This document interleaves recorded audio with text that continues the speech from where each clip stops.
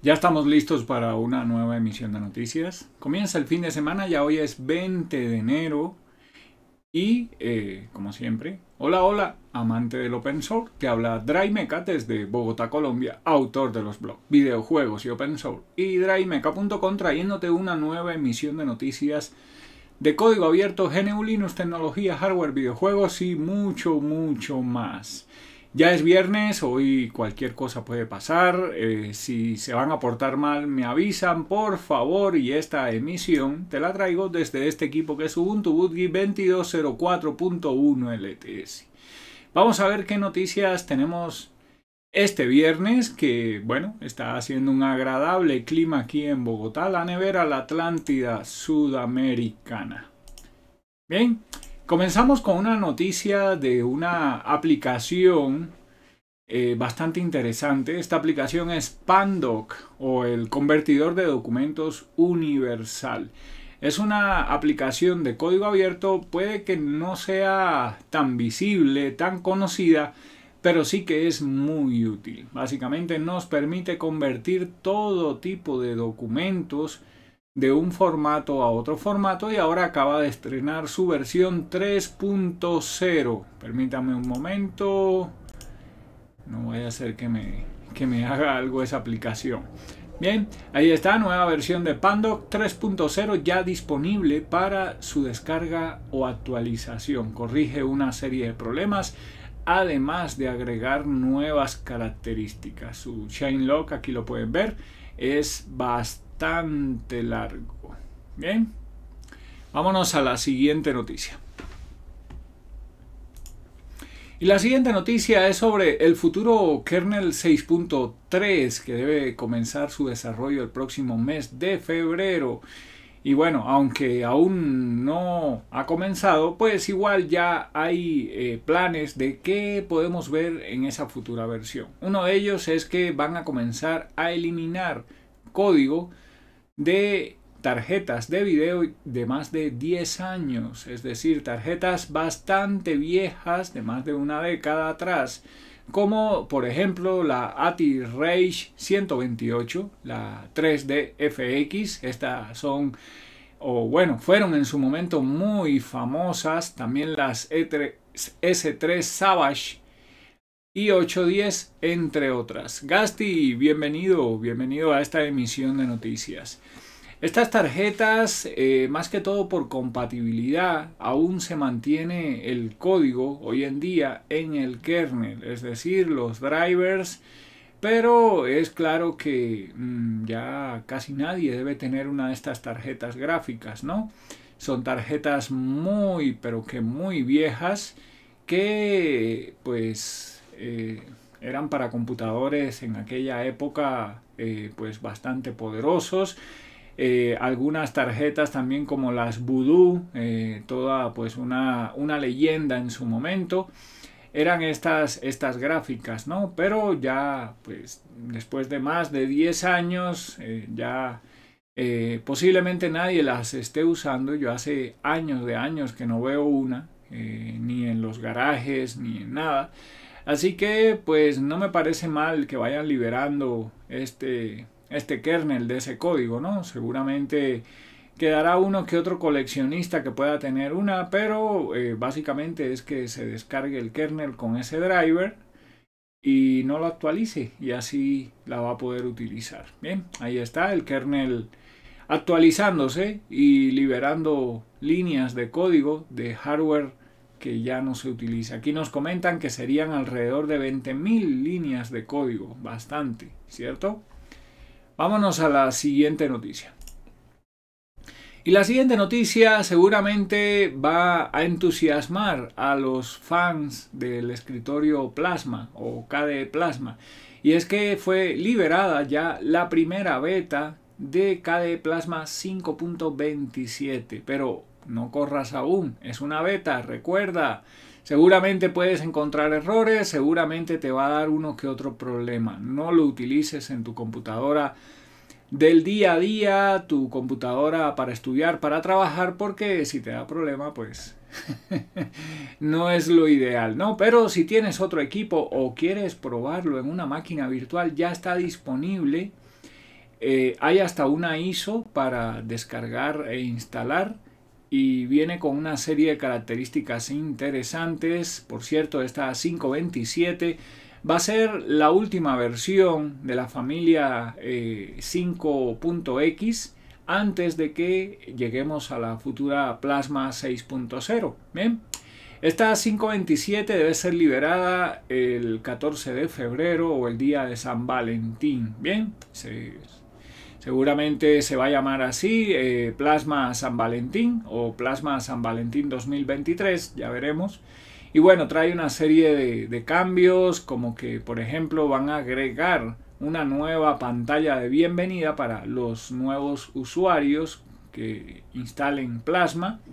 También mm, van a agregar una, un nuevo módulo al, a la aplicación System Settings o panel de control de KDE para encabezar los permisos de Flatpak. Esta parte me llama la atención, me parece que va a ser muy útil, muy útil y mm, pues eh, toca ver, toca ver cómo lo manejan para no tener que irnos por una por comandos en línea de comandos, etcétera, etcétera. Bien, me parece chévere. Y bueno, van a mejorar la parte de manejo de multimonitor con KDE Plasma. Bien. Eh, tiene pues muchas más características, pero aquí Foronix nos ha eh, resumido las que ellos entienden que van a ser las más populares. Bien, Diego Bajo Cero, bienvenido, bienvenido a esta emisión de noticias. Vámonos a la siguiente noticia.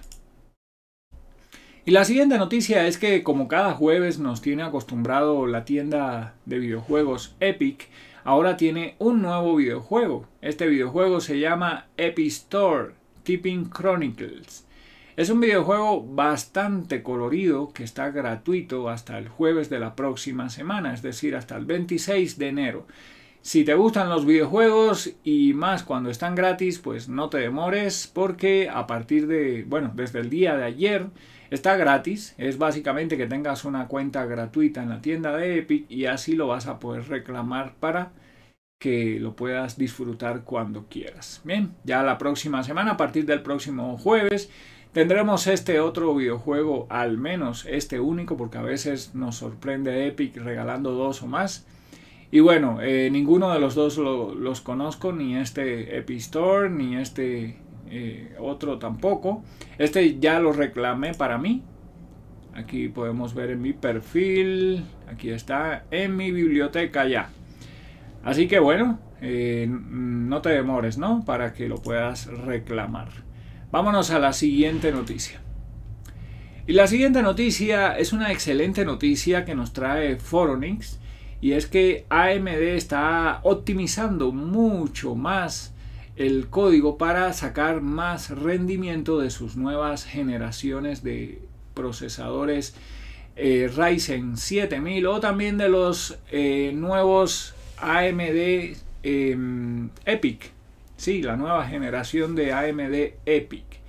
Estos procesadores que vienen con la arquitectura eh, de AMD, con, los, con, con Zen 4, Ahora eh, van a contar con nuevas características, bueno, cuentan con nuevas características y en el kernel pues se está optimizando para que su rendimiento sea mucho mejor. Es decir, si actualmente ya según las pruebas de rendimiento de Foronix han desempeñado bastante bien, pues aún así AMD está trabajando para optimizarlo mucho más y que en el futuro kernel 6.3, que les recuerdo que comienza su desarrollo en febrero, pues vamos a encontrar muchos más cambios. Por ejemplo, en la parte de virtualización y seguridad, ¿bien? Y también algo que eh, llama bastante la atención es la característica nombrada por AMD Automatic IBRS. Esta Automatic IBRS básicamente es para manejar las vulnerabilidades que han venido encontrándose en las CPUs, es decir, en procesadores, lo mismo de Intel que de AMD, como por ejemplo el problema de seguridad de nombre Spectre, ¿bien? que eso al parchear el código mm, limitaba bastante los procesadores en cuanto a rendimiento. Ahora con esta Automatic IBRS no es que se quiten esos parches de seguridad, sino que se optimiza el código, es decir, el parche, y esto eh, funciona mucho mejor. Aquí vemos, por ejemplo, una prueba de rendimiento que ha realizado eh, Foronix con esta función activa auto IBRS, eh, pues con el kernel 6.2, ¿bien? Eh, y bueno, se ve bastante bien porque miren que el rendimiento mejora muchísimo, bien, sin tener que deshabilitar esos parches de seguridad.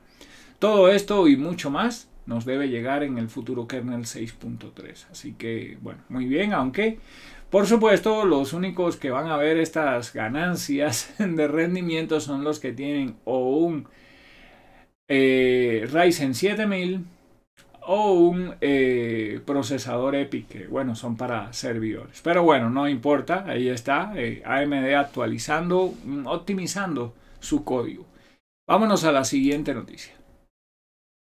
Y la siguiente noticia es del fabricante de tarjetas gráficas Nvidia que acaba de actualizar su driver privativo. Ya está disponible el driver 525.8505. Esta actualización más que todo es una actualización de corrección de errores. Así que si tienes una de estas GPU gráficas y utilizas GNU Linux, pues actualiza tu driver privativo porque corrige una serie de problemas. Bien, vámonos a la siguiente noticia. Y la siguiente noticia nos llega eh, de desde Canonical, de la parte de Foronix, y es que en la, en el, en la lista de, de email de, Ubuntu, bien, se acaba de postear que la fecha de la futura Ubuntu 22.04.2 LTS ha sido eh, pasada del 9 de febrero al 23 de febrero. Es decir, que debíamos eh, tener este lanzamiento, que básicamente es una actualización de la LTS actual, la pasaron del 9 de febrero al 23 de febrero. ¿Por qué? Bueno, han habido unos problemas em, con la parte de la actualización de kernel, es decir, pasaríamos de un kernel 5.15 LTS a un 5.19. ¿Y por qué esto? Bueno, básicamente eh, el kernel 5.15 eh, es eh, un kernel LTS, el 5.19 no lo es, es más, ya el 5.19 murió. Pero bueno, va a ser manejado, mantenido por Canonical hasta al menos el mes de agosto.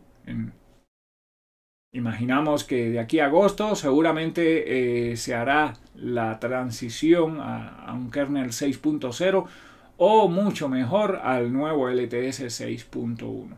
El caso es que cuando han hecho las pruebas han habido problemas con este kernel 5.19 en la 2204. Bien, también se encontraron algunos problemas con las llaves y han preferido eh, por eso pasar la fecha del 9 de febrero al 23 para tener más tiempo para hacer pruebas, probar las cosas y que cuando liberen esta nueva versión todo esté funcionando y no tengamos sorpresas. A mí me parece bien, es preferible esperar unas semanas más eh, que actualizar y comenzar a tener problemas. Bien, así que ahí está. Y bueno, mm, como te comentaba, no es una nueva versión.